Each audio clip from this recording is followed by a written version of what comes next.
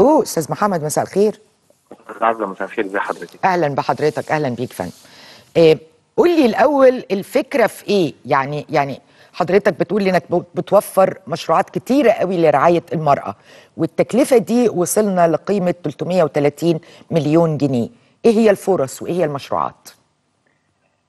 هي البداية كانت آه، بتكليف من السيد الرئيس في 2017 بتجهيز آه، وتدشين برنامج خاص بتمويل متناهي الصغر للمرأة المعيله تمام آه، آه، إحنا أطلقنا على البرنامج للمرأة برنامج المعيلة فقط آه، ده بشكل عام يعني بشكل آه. آه. عام المرأة المعيلة هي المستهدفة ولكن طبعا أي آه، بنت بتتقدم من سن 21 وصولا لأي سيدة سنها 60 سنة تقدر إن هي تستفيد من برنامج مستورة، إحنا يمكن آه ال- العبارة بتاعه المراه هي نظرا لعدد كبير جدا من السيدات بتعيد آه أسرها وتقدمت للبرنامج صحيح. فالشق الأهم يمكن إن إحنا نوقف الست اللي بتعيد أسرتها على رجليها علشان تقدر إن هي آه تلتزم بإحتياجاتها المعيشية الملقاه على عاتقها. يعني الأولوية للمرأة المعيلة مفيش شك. ما فيش شك لكن لكن لو أنا جوزي دخله بسيط ومحتاج أحسن دخلي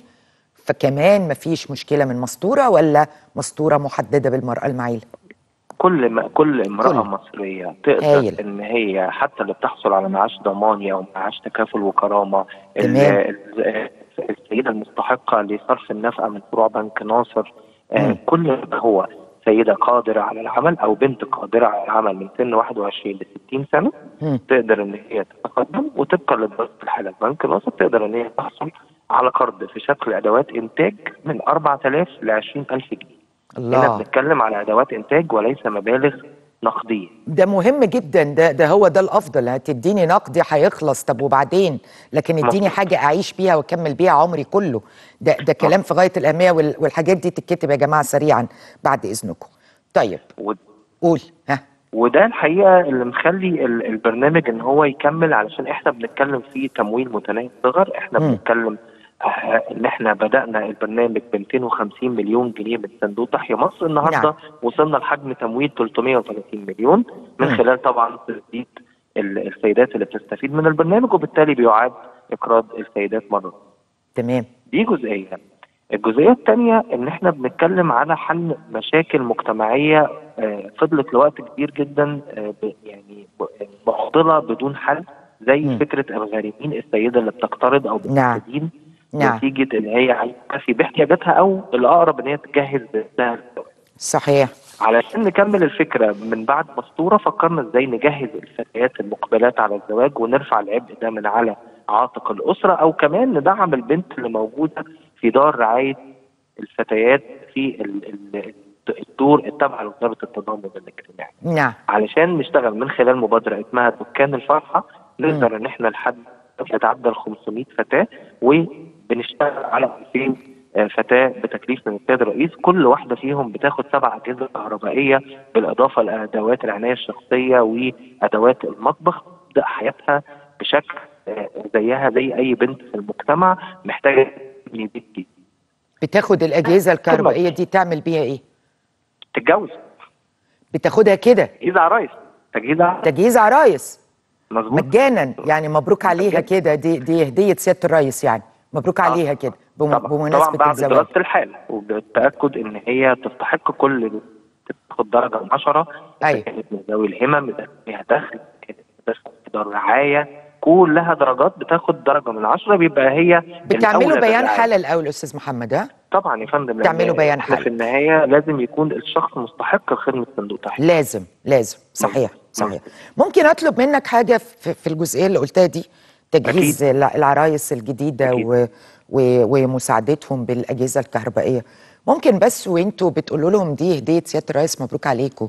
يعني يبقى في ما أعرفش مين مسؤول عن الجزئية دي عندكم في الصندوق يتكلم معاهم على فكرة الإنجاب وفكرة الضرر من الزيادة السكانية. أصل أنا كمان بالعقل كده يعني لازم في بالبلدي كده حاجة اسمها أخلف على قدي أخلف على قد ظروفي. هل موجود في الصندوق في الجزئية دي تحديدا حد بيكلم الناس؟ موجود في الدولة. ال- موجود في الدولة. لديها برنامج قومي آه، تحت اسم موده حضرتك لا أنا أنا عارفة المركزي مواد أنا عارفة بنشتغل مع مواد قبل ما بنستخدم آه، آه، التجهيزات لا أنا في في تقطيع مع في الصوت. أيوه. كده. تمام. برنامج مودة هو مشروع قومي. إحنا بن- بننسق مع مشروع مودة قبل ما نسلم الفتيات جهاز العروسة. تمام. بيبقى في جلسات من خلال المتخصصين لبرنامج مودة أيوه. بنعرف البنت بالجوانب النفسية والاجتماعية والثقافية والشرعية وكمان الصحية بالنسبة للزواج بنأهلها للحياة الجديدة ومن ضمنها كمان فكرة الإنجاب آه ده مهم جدا وأنا وأنا بتمنى يحصل التركيز عليه. دي في غاية. الأهمية. آه، نعم نعم. ده أكيد. إحنا بن... إحنا كل ما هو متعلق بالحفاظ على كيان الأسرة المصرية إن إحنا نكون مندمجين فيه وبننسق فيه مع كل آه، أطراف الدولة اللي بتنسق هذا آه، الجزء.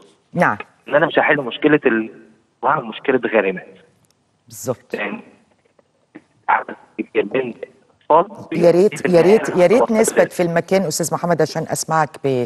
بشكل أوضح هل كده الصوت مناسب؟ آه أرجوك أرجوك نثبت. بقى اثبت على كده بقى لا أنا هرجع هرجع تاني لموضوع هرجع تاني لموضوع آه، ال- المشروعات متناهية الصغر والقروض اللي حضرتك قلتها من شوية آه، اولا عايز أعرف الشروط بتبقى إيه للناس اللي بتاخد اللي ممكن تحصل على ده لأن أنا الحقيقة نفسي كل بيت مصري يبقى فيه مشروع متناهي الصغر. وعايزه أعرف كمان من حضرتك القرض فايدته قد إيه وبيتسدد إزاي. دي بتبقى عناصر جاذبة للناس إنها آه، تقبل على الخطوة دي. اتفضل. مفيش شروط طبعا إيه؟ إحنا آه، إحنا بنتكلم على كل آه، مرأة بتقدر تاخد المعاش الضماني أو معاش تكافل وكرامة أو مستحقة صرف النفقة من بنوك فرع ناصر من فروع بنك ناصر. بنتكلم على كل مرأة تقدمت لمعاش تكافل وكرامة ولم تنطبق عليها الشروط. بنتكلم بشكل عام على كل سيدة أو فتاة من 21 ل 60 سنة قادرة تمام. على العمل وليس لها دخل. حلو قوي. الشروط. تمام. بعد كده القرض ده بقرض بشكل دوار بسعر عائد سنوي ثابت قدره 7% بيحصل مرة واحدة مع بداية القرض. بيحصل مرة واحدة يعني بتضاف قيمته على قيمة ال- القرض آه مظبوط. تمام حلو قوي. إحنا تمام بنتكلم ما بين 4000 ل 20000 جنيه مم. بتسددها السيدة في سيدات كتير بتتقدم مرة أخرى للحصول على القرض علشان توسع من مشروعها ودي وده وده يجوز آه طبعا طبعا طب. هايل. اللي هي الفكرة الموضوع مش لمرة واحدة آه. لا بالعكس انا يهمنا إن إحنا ال- السيدة اللي نجحت في مشروعها تبتدي. تتوسع طبعا وعندنا كمان سيدات بتحب إن هي تتوسع في فكرة التسويق إن هي آه، عندها منتج محترم جدا زي السيدات اللي بتمتهن حرفة النول إن هي تبتدي تتوسع وتسوق بنفسها علشان ما يكونش في وسيط يضحك عليها في موضوع ال- آه، السجاد بتاعها والكلام ده كله.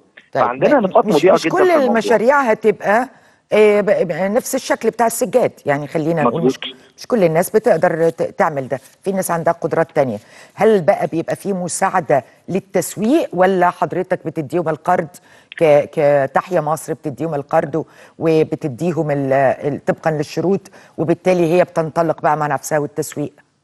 خلي بال حضرتك الصندوق بينفذ ال- البرنامج من خلال فروع بنك ناصر المنتشرة على مستوى الجمهورية. نعم. يبقى في جانب فني بيقدم لكل سيدة متقدمة قبل ما تبدأ المشروع. يعني لو هي جت قالت أنا عايزة أفتح محل بقالة مثلا مثلا. فالبنك بيساعد كمان في فكرة إن المكان اللي أنت فيه هينفع فيه بقالة ولا لأ. تمام. علشان تقدر تكمل عشان تنجح. وتقدر إن تشتغل وتنجح. أيوه. كمان عندنا أنشطة تجارية كتير جدا وأنشطة منزلية. إحنا بنتكلم في كرة ونجوع.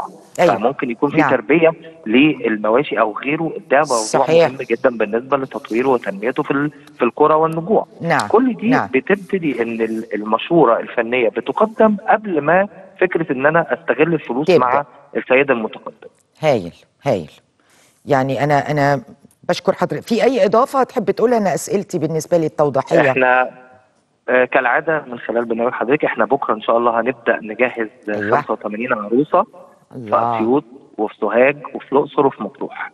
الله. خمسة؟ 85 وثمانين. عروسة.